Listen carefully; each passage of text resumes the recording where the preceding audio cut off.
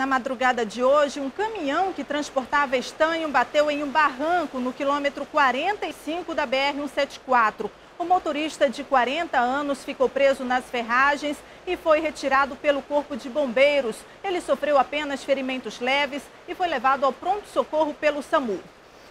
E representantes do Comitê Olímpico Internacional visitam nesse momento a Arena da Amazônia. É uma visita de cortesia, mas o Amazonas tenta se candidatar para receber partidas durante os Jogos Olímpicos de 2016. Vamos agora conversar ao vivo com a repórter Márcia Lasmar, que está neste momento na arena. Cunha, Olá, uma boa Márcia. tarde para você, uma boa tarde para todo mundo que está assistindo o Jornal em Tempo. Nesse momento, o Comitê Olímpico Internacional estava visitando a Arena da Amazônia para verificar as condições e saber se Manaus preenche os requisitos para receber jogos do, do, da, das Olimpíadas de 2016, já que as cinco, os cinco estados que já foram escolhidos não serão suficientes para receber todos os jogos.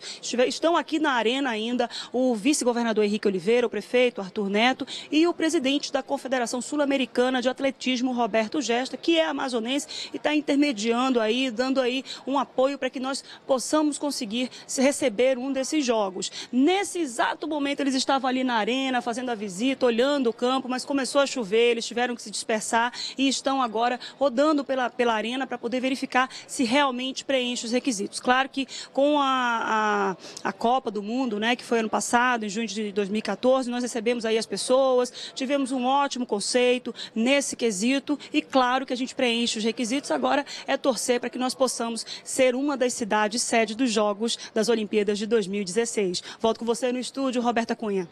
Muito obrigada, Márcia, ao vivo da Arena da Amazônia. E ainda falando de esporte, um amistoso entre São Raimundo e Nacional abre a temporada de jogos neste domingo na Colina. A repórter Laila Pereira tem outras informações. Laila.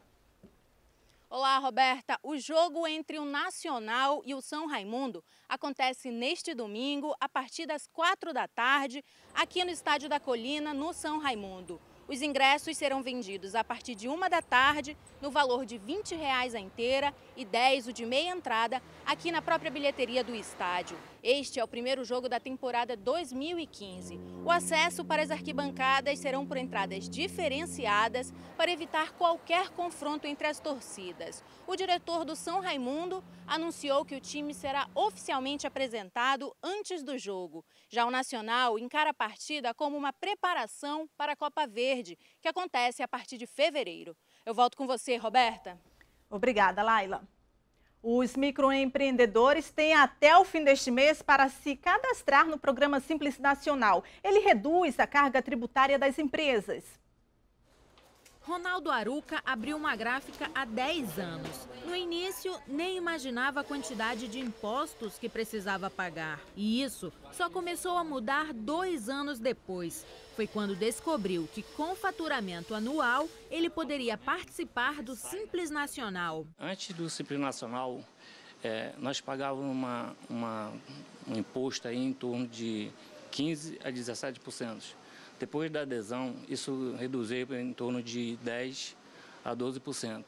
O Simples Nacional foi criado em 2007 para ajudar microempresários, assim como o Ronaldo. O programa reúne o pagamento de oito tributos em um único boleto, o que reduz cerca de 40% da carga tributária. Entre os critérios para participar do programa estão o porte e o faturamento da empresa. 140 novas categorias entre médicos, corretores e profissionais foram incluídas a partir deste ano. Espera-se que, a nível de Brasil, sejam 450 é, beneficiados com essa vantagem. O cadastro deve ser feito até o dia 31 de janeiro no site do Simples Nacional receita.fazenda.gov.br barra Simples Nacional. Agora uma notícia nada boa. A produção industrial do Amazonas caiu 4% e o estado teve a pior produção industrial do Brasil nos meses de outubro e novembro de 2014, segundo o IBGE. Economia morna. O baixo consumo impacta diretamente a produção e produção reduzida é sinônimo de desemprego. Eu só tenho minha mãe e tenho minha irmã, todas as duas estão desempregadas, só eu trabalhava no momento.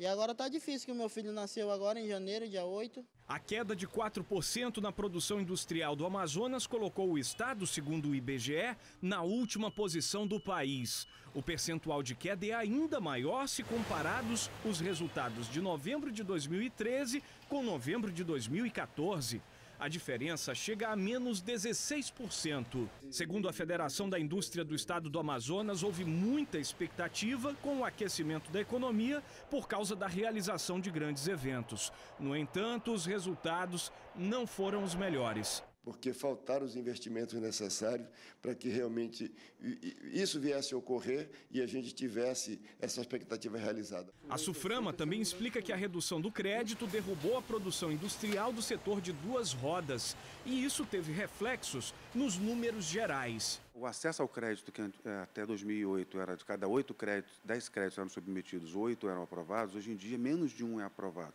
Mas a recuperação vem puxada pelo setor de duas rodas, que fechou o ano de 2014 em dezembro com 84.820 unidades produzidas, em relação a 2013 a 4,2% de crescimento. E para 2015, a projeção segue no mesmo ritmo. O próximo trimestre é determinante para saber se o crescimento se mantém.